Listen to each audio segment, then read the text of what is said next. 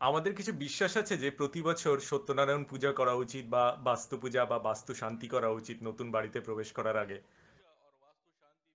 আচ্ছা। অন্তত আমাদের মহারাষ্ট্রীয়দের মধ্যে এই ধরনের প্রথা বা গৃহশান্তি করার প্রচলন রয়েছে। আচ্ছা। এবার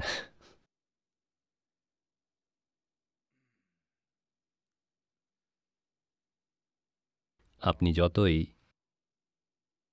আপনি কতগুলো সত্যনারায়ণ পুজো করলেন তাতে কিছুই আসা যায় না। যে অসত্যটিকে সৃষ্টি করছেন নিজের দৈনন্দিন জীবনযাপনে, কোনো সত্যনারায়ণ পুজো আপনাকে বাঁচাতে পারবে না। সর্বশ্রেষ্ঠ সত্যনারায়ণ পুজো যা আপনি করতে পারেন তা হল অন্তত নিজের প্রতি সত্যপরায়ণ হওয়া। অন্যদের সাথে আপনি সত্যপরায়ণ হতে পারছেন না, তার জন্য আপনাকে ছেড়ে দেব। কিন্তু অন্তত নিজের সাথে আপনার একশো শতাংশ সত্যনিষ্ঠ হওয়া উচিত, তাই না? সেটা এক চমৎকার সত্যনারায়ণ পুজো হবে আর সেটা সঙ্গে সঙ্গে ফল দেবে। এমনিতেই আপনার সত্যনারায়ণ পুজো আপনি নিজে করেন না, অন্য কেউ আপনার হয়ে করে দেন। হয়তো তিনি উপকার পাচ্ছেন, কিন্তু আপনার কথা কে জানে? আপনি এক গাদা ধোঁয়া খেয়ে পরের দিন ঠান্ডা লাগিয়ে বসলেন। সাইনাসের বিচ্ছিরি অবস্থা হয়ে ফুলে উঠে। সাধারণত পুজোর সময় আপনার বাড়ি তো ধোঁয়াতে ভরে যায়। হুম? হয় না? ও আপনাদের ধোঁয়া হয় না? ও। দক্ষিণ ভারতে প্রচুর ধোঁয়া হয়।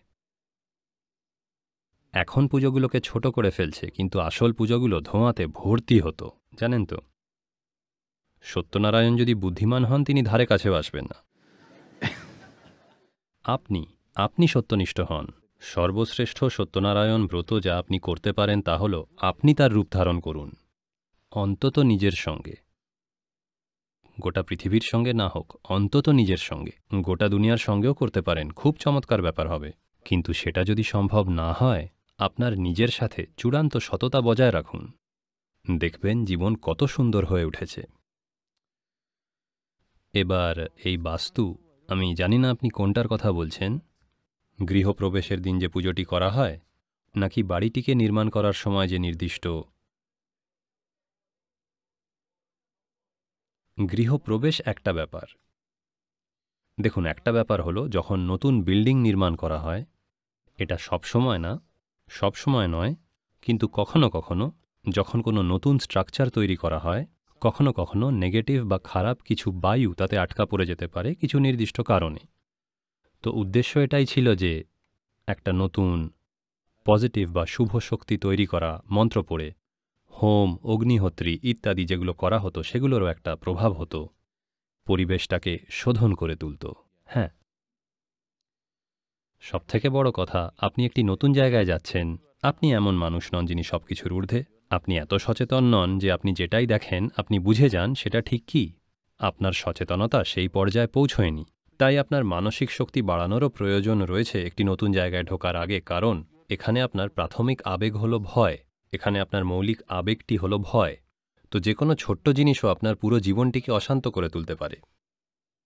আপনি হঠাৎ বিশ্বাস করে বসলেন, ধরুন আপনি একটা নতুন বাড়িতে এলেন, নতুন রঙের গন্ধের জন্য আপনি ঘুমোতে পারছেন না। এবার আপনি ভাবছেন, ব্যাপারটা কি? আমার পুরনো বাড়িতে তো আমি ঠিকমতো ঘুমোতাম, নতুন বাড়িতে হয়তো ভূত আছে। আপনি শেষ, বুঝলেন? আপনি শেষ, বহু মানুষ সেই একটি চিন্তা থেকে নিজেদেরকে মুক্ত করতে পারেন না। তাদের মনে চলতেই থাকবে চলতেই থাকবে আর এভাবে নিজেদেরকে শেষ করে ফেলবেন। তো এভাবে এটা কিছুটা বিশুদ্ধ করে তোলে। এর পিছনে একটি বিজ্ঞানও রয়েছে। কিছু শব্দ বা মন্ত্র উচ্চারণ করে কিছু গন্ধ দিয়ে একটি নির্দিষ্ট পরিবেশ গড়ে তোলা হয় সেখানে। আর আপনি দরজার সামনে চাল কুমড়োটিকে ঝুলিয়ে রাখেন, কারণ এটি অত্যন্ত প্রাণিক। এটি প্রাণশক্তির অনুরণন ছড়ায়, যার ফলে ধীরে ধীরে শুভ শক্তি ছড়িয়ে পড়ে। এটাকে আপনার পেটের ভেতরে দিলে আরও ভালো হয়, বুঝলেন? এই গোটা বিজ্ঞানটিকে শিখরে নিয়ে যাওয়া হয়েছে মন্দির নির্মাণের ক্ষেত্রে। দেখুন, এটা আপনাকে বুঝতে হবে যে ভারতে কখনোই মন্দিরকে পুজো বা প্রার্থনা করার স্থান হিসেবে নির্মাণ করা হয়নি। আপনি কোনো মন্দিরে গেলে এই সংস্কৃতিতে কেউ কখনো আপনাকে বলেনি প্রার্থনা করার জন্য, বা আপনার জীবনকে কীভাবে ঠিক করতে হবে সেই বিষয়ে ভগবানের কাছে আবেদন পাঠাতে। এটা বলা হয়েছে যে কোনো মন্দিরে গিয়ে আপনার সেখানে কিছুক্ষণ বসা উচিত, তাই না?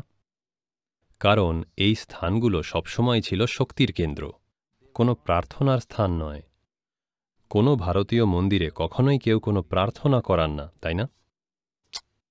দেখুন, অন্য কোনো প্রার্থনার স্থান হলে কোনো একজন মানুষ প্রার্থনাটিকে পরিচালনা করেন। ভারতীয় মন্দিরে কখনোই এরকম কোনো ব্যাপার ছিল না, কারণ এর নির্মাণই করা হয়েছিল এক শক্তির কেন্দ্র হিসেবে, কোনো প্রার্থনার জায়গা হিসেবে নয়। আপনার দিন শুরু করার আগে আপনি স্নান করে সেখানে গিয়ে কিছুক্ষণ বসলেন, তারপর বেরোলেন বাইরের জগতে আপনার কাজ করতে। এটা বলতে পারেন ব্যাটারি রিচার্জ করার জায়গা, জনগণের জন্য। আর এটাও বলা হয় যে আপনি যদি কোনো আধ্যাত্মিক পথে থাকেন, তাহলে আপনাকে প্রত্যেক দিন মন্দিরে যেতে হবে না। এটা কি জানেন আপনি? যারা আধ্যাত্মিক পথে রয়েছেন, তাদের প্রতিদিন মন্দিরে যাওয়ার দরকার নেই। কেন? কারণ তাদের নিজেদেরকে চার্জ করার ব্যবস্থা রয়েছে। এখন আপনি এই প্রাণায়াম, ধ্যান এগুলো করছেন, এগুলো নিজেকে চার্জ করার পদ্ধতি। তাই আপনার কোনো পাবলিক চার্জিং স্থানে যাওয়ার প্রয়োজন নেই, বলতে গেলে। আপনার নিজের ব্যক্তিগত চার্জার না থাকলে তখন আপনি পাবলিক বুথে গিয়ে চার্জ করালেন। যখন মন্দিরের আকারটি, বাইরের পরিক্রমাটি, ভেতরের গর্ভগৃহটি, তার আকার এবং আকৃতি, প্রতিমাটির আকার এবং আকৃতি, প্রতিমাটি যে মুদ্রাগুলো ধারণ করে রয়েছে যে মন্ত্রগুলো ব্যবহার করা হয়েছে প্রতিষ্ঠা করার জন্য, এগুলো সব যদি একে অপরের সাথে ছন্দে থাকে, তাহলে আশেপাশে শক্তির এক শক্তিশালী ক্ষেত্র তৈরি হবে। আপনি কেবল সেখানে গিয়ে বসে সেটাকে আত্মস্থ করে চলে আসুন। ওটা আপনার অং বং চং করার সময় নয়। কিংবা অন্য কেউ আপনার জন্য করে দিচ্ছেন, আপনার কাজ হলো কেবল চুপ করে বসে থাকা, যে যদি কিছু আত্মস্থ করার থাকে। বেশিরভাগ মন্দিরগুলোকেই আমরা শেষ করে ফেলেছি। কারণ আমরা জানি না সেগুলোকে কীভাবে রক্ষণাবেক্ষণ করতে হয়। প্রয়োজনীয় নিষ্ঠা এবং এর জন্য প্রয়োজনীয় যে বিজ্ঞানটি ছিল, তা হারিয়ে গেছে এবং শত শত মন্দির শেষ হয়ে গিয়েছে, কেবল পাথরটিই পড়ে রয়েছে। এই বিজ্ঞানটি ছিল পাথরকে দৈবে রূপান্তরিত করার। কিন্তু আপনি যদি অচেতন হন, আপনি আবার ঐশ্বরিককে পাথর বানিয়ে ফেলবেন। বুঝলেন? একটি গোটা বিজ্ঞান রয়েছে, কীভাবে পাথরকে দৈবে রূপান্তরিত করতে হয়, কীভাবে এর মধ্যে শক্তি প্রতিষ্ঠা করতে হয়, যাতে এটি আপনার থেকে এক অনেক বড় সম্ভাবনা হয়ে ওঠে। কিন্তু আপনি এটাকে ধ্বংস করে ফেলতে পারেন। হয়তো আপনাদের মধ্যে আপনারা ধ্যানলিঙ্গর ব্রোশারটি পেয়েছেন। আপনাদের যদি ছবিগুলো দেখার ইচ্ছে থাকে, বইটি বোধহয় বাইরে রয়েছে। আপনার সেখানে এসে বসা উচিত। এটিকে প্রাণ প্রতিষ্ঠা পদ্ধতির দ্বারা প্রতিষ্ঠিত করা হয়েছে, মন্ত্রের মাধ্যমে নয়। এর জন্য বিপুল পরিমাণ কাজ করতে হয়েছে। একভাবে বলতে গেলে, আমি এখন যেটা করছি, এটা আমার কাজ নয়। আমি মূলত এসেছিলাম এই লিঙ্গটিকে প্রতিষ্ঠা করার জন্য। একেবারে অন্য কিছু কারণে আমি এটার সাথে জড়িয়ে পড়েছি আর এখন এটা ওটা করে বেড়াচ্ছি। না হলে মূলত আমার কাজ ছিল কেবল ওটাকে প্রতিষ্ঠা করার। প্রতিষ্ঠার পর থাকার কোনো উদ্দেশ্যই ছিল না, পরিকল্পনা এটাই ছিল। প্রতিষ্ঠা হয়ে গেলেই চলে যাব। কোনো এক কারণে থেকে গেলাম আর এখন বিভিন্ন কাজ ঘটে চলেছে। আপনি কেবল এই মন্দিরটিতে প্রবেশ করুন, আপনাকে কোনো শিব, কোনো বাজে কথায় বিশ্বাস করতে হবে না। এটি সর্বধর্মের মন্দির, সেই জন্য বিভিন্ন ধর্মের মানুষ সেখানে আসেন, কেবল সেখানে বসার জন্য। আপনি কেবল গিয়ে সেখানে বসুন, আপনার মেরুদণ্ডের মূল থেকে আপনাকে নাড়িয়ে তুলবে। অনুরণনগুলি এতটাই শক্তিশালী। কারণ এমনভাবে একে প্রতিষ্ঠা করা হয়েছে, প্রাণ প্রতিষ্ঠা করা হয়েছে, আপনি একে হত্যা করতে পারবেন না। এখন এটি আর পাথরের লিঙ্গটির ওপর নির্ভরশীল নয়। পাথরের লিঙ্গটি কেবল কাঠামো হিসেবে ব্যবহার করা হয়েছিল, একটি শক্তি লিঙ্গ সৃষ্টি করার জন্য। আপনারা চাইলে এখন পাথরের লিঙ্গটি সরিয়ে ফেলতে পারি। কিন্তু এতে এর গুণমানের কোনো পরিবর্তন হবে না। সাতটি চক্রকে স্থাপন করে তাদের সঠিকভাবে আবদ্ধ করা হয়েছে। এটি চিরন্তন। আপনি এই পৃথিবীটিকে ধ্বংস করে ফেললেও এই শক্তির আকারটিকে ধ্বংস করতে পারবেন না। যোগের গল্পকথায় এটি এক সম্পূর্ণ বিজ্ঞান। কীভাবে একে সম্ভব করতে হয় সেই বিষয়ে এক গভীর বিজ্ঞান। প্রাণ প্রতিষ্ঠার প্রক্রিয়া চলাকালীন সেখানে উপস্থিত মানুষজন যারা এর সাক্ষী ছিলেন, আপনি বিশ্বাস করবেন না কী ধরনের ব্যাপার ঘটেছিল সেখানে।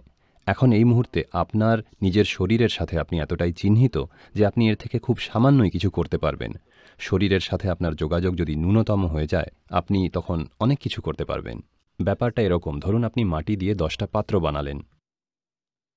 এবার আপনি সেগুলোকে পোড়াননি, এখনও নরম রয়েছে, আপনি এখন আবার এগুলোকে এক করে একসাথে মিশিয়ে এর থেকে বারোটা পাত্র বানাতে পারেন বা কুড়িটা পাত্র বানাতে পারেন, আপনি যদি চান। কারণ এখনও মাটিটা নরম রয়েছে আর আপনি সেটা নিয়ে কাজ করতে পারবেন। তো সমাধি অবস্থার অর্থ হলো আপনি সেই অবস্থায় ফিরে যাচ্ছেন যখন মাটিটি আবার নরম। আপনি সেটাকে নিয়ে আবার কিছু একটা করতে পারবেন। সাধারণত মানুষ যখন সমাধি অবস্থায় থাকেন, আমরা তাদের রক্ষা করি। আমরা তাদের খুব সুরক্ষিত পরিবেশে রাখি কারণ অতি সামান্য ব্যাঘাতেও তারা শরীর ছেড়ে দিতে পারেন। কেউ গভীর সমাধিতে রয়েছেন আর আপনি কেবল এটা করলেন, তিনি শরীর ছেড়ে দিতে পারেন। জানেন তো? কারণ এটি এতটাই সূক্ষ্ম। ছোট্ট, সামান্য কিছুতেই এটা ঘটতে পারে। তো সেই অবস্থায় থাকতে এবং একই সঙ্গে শারীরিকভাবেও সক্রিয় থাকতে, এটা শেখাতে প্রচুর প্রশিক্ষণ লাগে। আমার কুড়ি বছর সময় লেগেছে এই পরিস্থিতিটি তৈরি করতে, ধীরে ধীরে সঠিক ব্যক্তিদের সন্ধান করে তাদের সকলকে একত্রিত করে এটিকে ঘটাতে। আপনার জীবনে একে অবশ্যই অনুভব করা উচিত, একবার অবশ্যই অনুভব করা উচিত, দেখা উচিত। আপনাকে কোনো কিছুতে বিশ্বাস করতে হবে না। আপনি কেবল এখানে এসে বসুন দেখবেন এটা আপনাকে কোথায় নিয়ে যায় For more on Sadhguru, visit www.ishafoundation.org.